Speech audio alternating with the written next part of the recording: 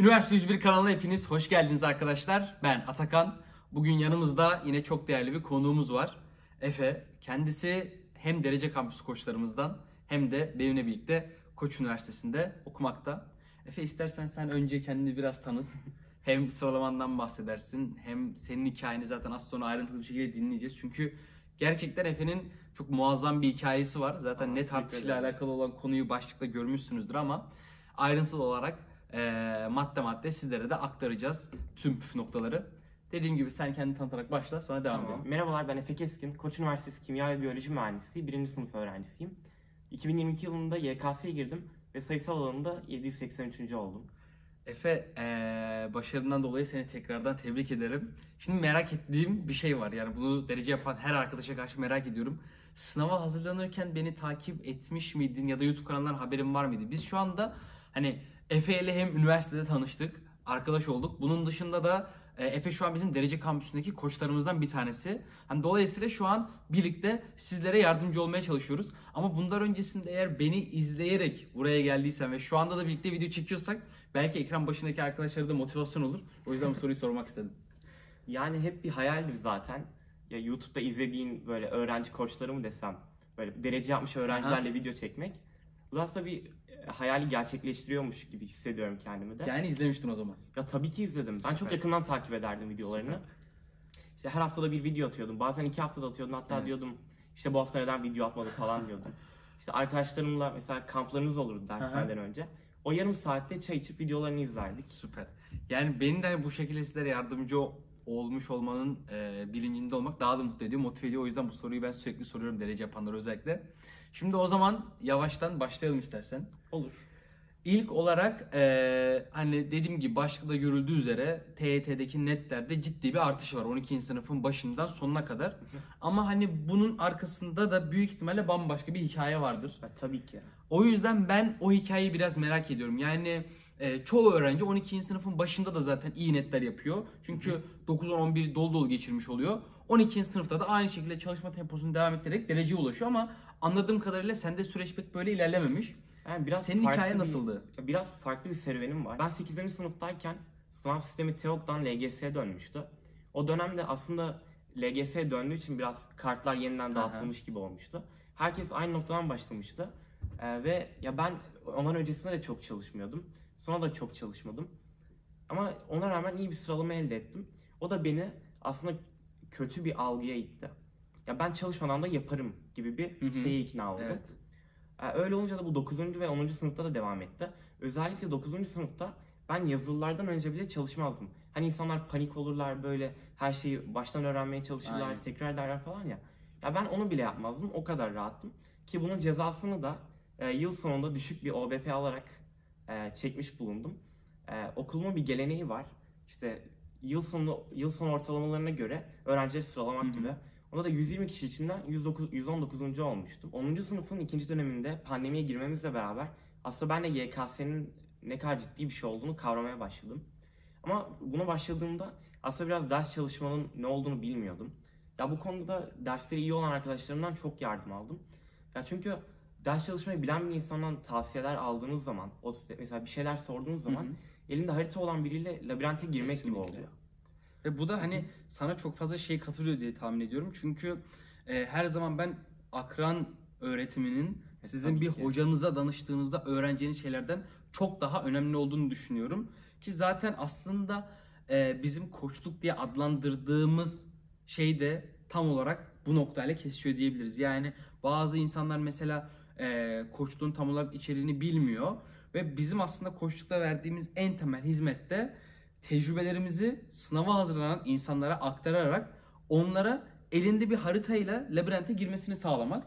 E, Dolayısıyla ki. verdiğin örnek bence de çok güzel oldu bu noktada. Hani sen de şu anda bunu başkalarına yapıyorsun. Lisedeyken sen yakın çevrendeki insanlardaki haritayı alıp kendi labirentine yolunu buldun. hı. Şu anda da sen bu haritayı başkalarına sağlayarak, başkalarına koşuluk yaparak onların labirentlerinde hatta içinde kayboldukları labirentte yollarını bulmayı, bulma- e, bulmalarını sağlıyorsun.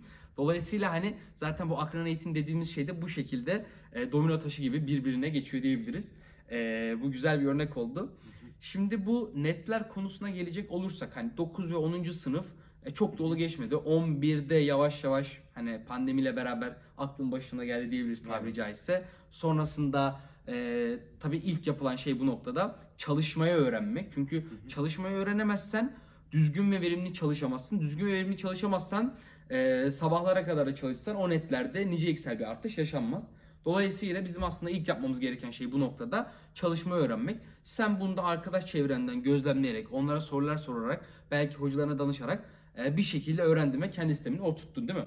Evet. Tamam. Ya öyle oldu ama ya diğer insanların da yönlendirmeleri bir yere kadar oluyor. Hı hı. Ya sizin mesela her denemeden sonra kendinize dersler çıkarmanız gerekiyor. Mesela bu denemede ben dil bilgisinde önceden işlediğim bir konuda hata mı yaptım? Hı hı. Mesela ben e, haftalık rutinime mesela her güne bir yarım saat dil bilgisi eklerdim. Evet. Mesela, mesela yazım kurallarında mı hata yapmışım? Mesela her sabah kalktığımda yarım saat yazım kuralları çalışırdım. Ya biraz da aslında e, rutinler şeklinde çalıştım ben. Hı hı. Eksiklerimi de o şekilde kapattım. Bu şekilde de aslında denemelerdeki yapılan hataları biraz daha programına haftalık olarak entegre edip kısa sürede eksiklerini kapatıp yoluna devam ettin diyebiliriz. Evet diyebiliriz. Ee, şimdi zaten senin 12. sınıfın başında falan artık biraz biraz bu netleri yükseltmeye başladığını varsayarsak dolayısıyla senin kısa bir zaman dilimi vardı. O yüzden böyle kısa vadeli planlar yapıp ilerlemek senin için mantıklı. Evet kesinlikle. Ee, Ya zaten küçük ve sık yapılan değişiklikler bence büyük ve seyrek yapılan değişikliklerden çok daha kalıcı oluyor. Evet zaten hani genel olarak planlamalarda hani böyle haftalık yapıldığı zaman bu hafta şunlar bitecek, bu hafta bunlar yapacak dendiği zaman plana olan uyumluluk daha fazla artıyor. Ama mesela biz bir aylık, iki aylık ya da belki bir yıllık planlar yaptığımız zaman hani bunlara uyma ihtimaliniz biraz daha düşüyor. O yüzden dediğim gibi haftalık ilerlemek daha mantıklı bence de. Bunun dışında şimdi asıl gelelim önemli noktaya. 12. sınıfın başında 65 net TYT yapmıştın. Evet. Ee, videodan önce konuştuğumuz kadarıyla. Ee, MSÖ sınavında 110 net yapmışsın. Gerçek sınavda da 108 net TYT yapmıştın. Evet. Şimdi yani yaklaşık 8-9 aylık bir süreçte yaklaşık 40-45 net bandında bir artış var. Hı hı. Ya bunu sağlarken ki en temel maddeler neydi? Hani şunları yaptığım için bu kadar kısa sürede bu kadar hızlı net arttırdım dediğin maddeler neler efendim? İlk olarak denemelerden kendimize ders çıkarmak Aha. bence çok önemli. Mesela her denemenin aslında bana anlatmak istediği farklı bir şey olduğuna inanıyordum. Ya Mesela bir denemede matematikte mesela bir denemede matematikte belli problemlerde çok yanlış yapıyordum. Ve ondan sonra o problemleri karşıma alıp diyordum işte ben bunu neden yanlış yaptım. Onu iyice irdelerdim. Özellikle mes- mesela benim dershanem, dershaneye de giderdim ben.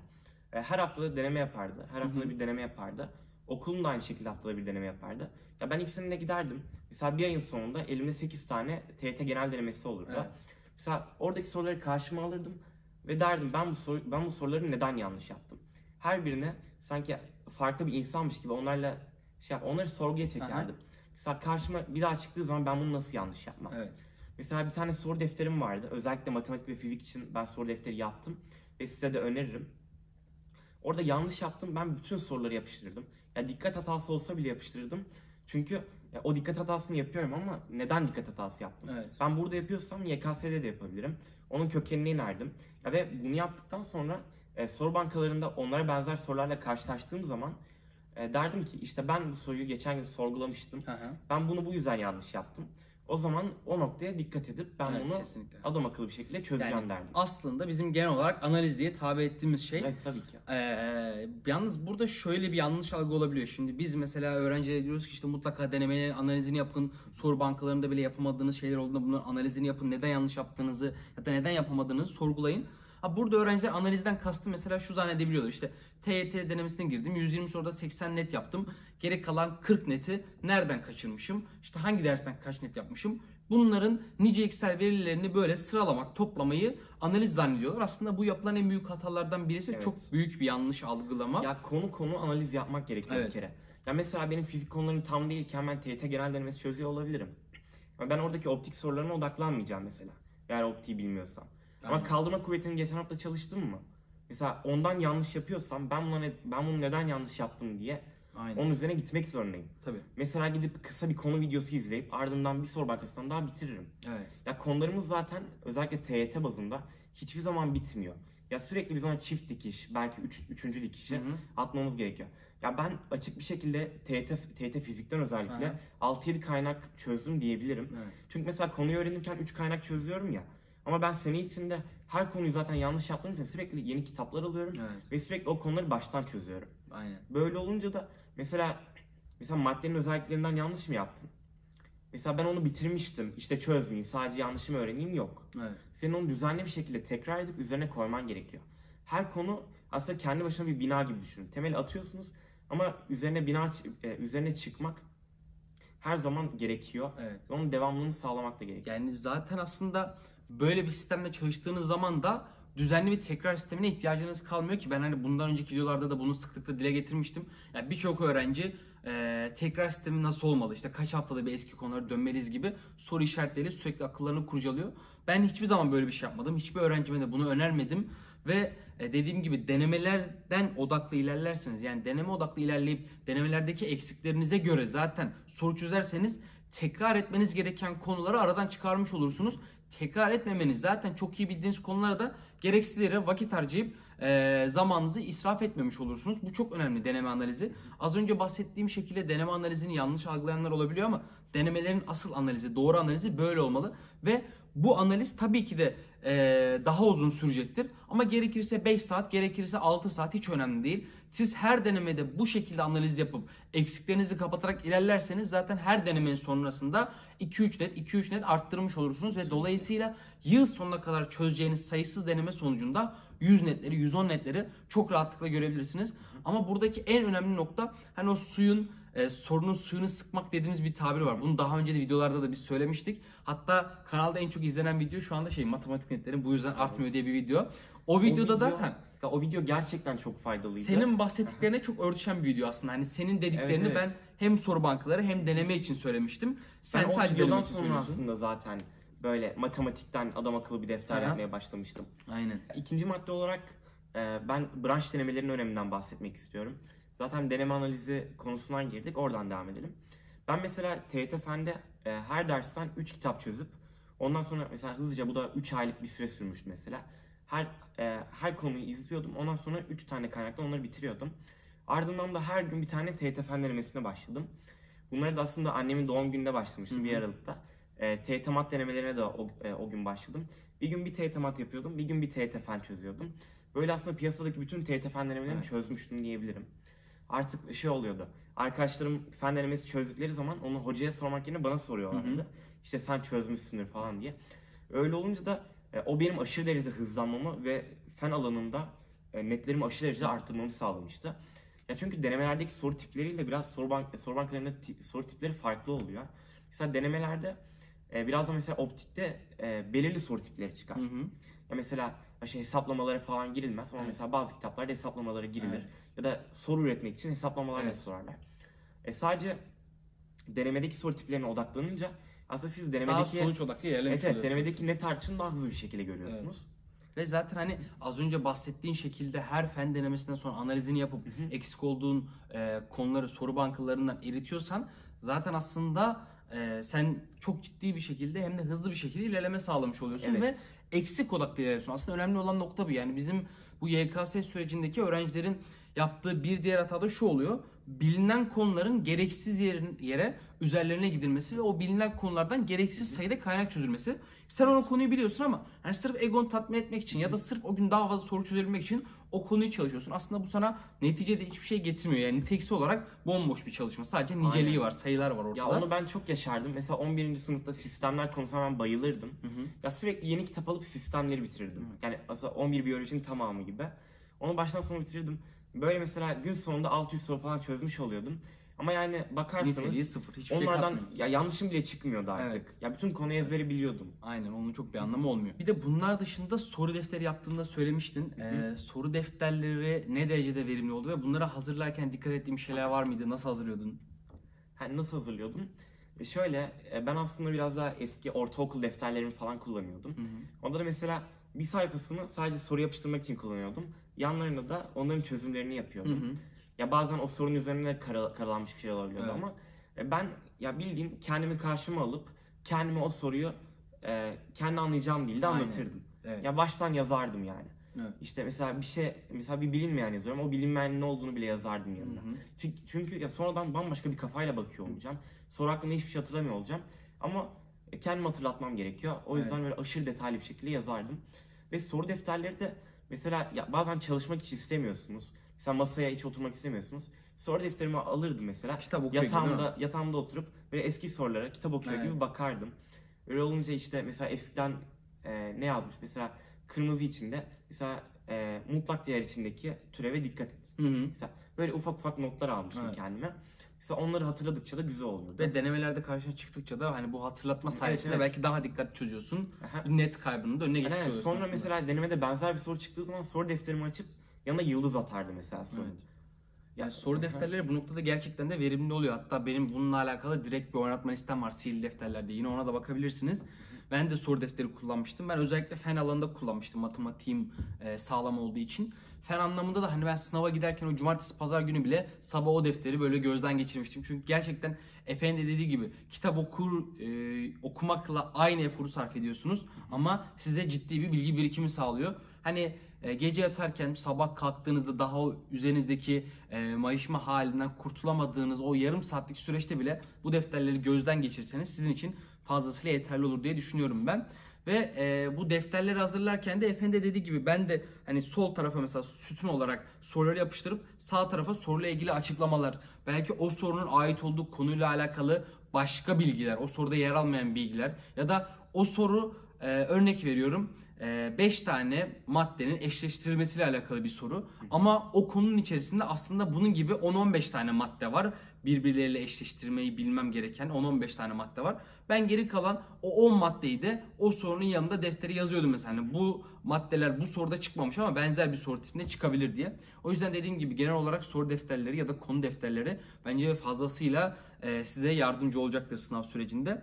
Son olarak da sormak istediğim şey e, deneme sonrasında yapılan e, bir hatam var mıydı mesela gözüne çarpan ya da deneme sırasında yaptığın bir hata var mıydı? Genel olarak şunu yapmasam benim için daha iyi olur dediğin bir şey var mıydı? Ee, bir kere ya, denemeler benim ruh halimi çok etkilerdi. Hı hı. Ya deneme sonucu mesela kötü geldiği zaman ben bunu haftaya ya Evet. haftaya dağıtırdım. Ya bütün hafta mesela o deneme sonucu yüzünden kendimi kötü hissederdim. Evet. Ya bazen deneme sonucuna üzülmezdim ama ben mesela kendimi başkalarıyla kıyasladığım için öyle biraz daha kendimi yetersiz hissederdim. Mesela ya Türkçeden benim için 30 net yapmak iyiydi mesela. Ama etrafındaki insanlar 35 net yaptığı zaman ben onlarla kıyaslardım ve kötü hissederdim. Ee, ya kendini başkalarıyla kıyaslamak aslında doğası, doğası gereği çok yanıltıcı bir şey Evet. ve biraz daha e, yolunuzu kaybetmenize sebep oluyor. Ya ben mesela başkasına bakıp kendimi ölçmeye çalıştığım zaman e, o kişi mesela yerinde saydığı zaman ben aslında kendi yerimi göremiyor oluyorum.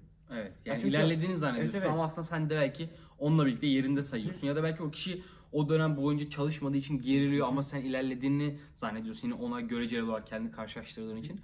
O E yüzden Çünkü herkesin düşük zamanları vardır. Mesela Atakan abi senin de vardır. Evet. Benim de vardı. Ya belli dönemlerde insanlar gerileye, o- gerileyebiliyorlar. Ama sen o zamanlarda da kendini böyle çok iyi zannettiğin biriyle kıyaslarsan çok fazla yanılgıya düşmüş oluyorsun. Evet yani genel olarak kendini karşılaştırmanın ben de çok doğru. Ya ben mesela hiçbir zaman sınav sürecinde kendimi biriyle karşılaştırmıyordum.